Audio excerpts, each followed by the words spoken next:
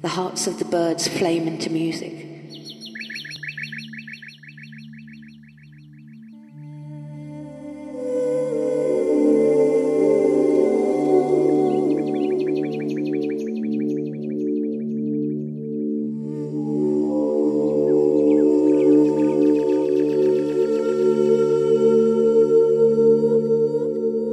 As the first long line of light creeps across the meadows, surging chorus seems to shake the treetops.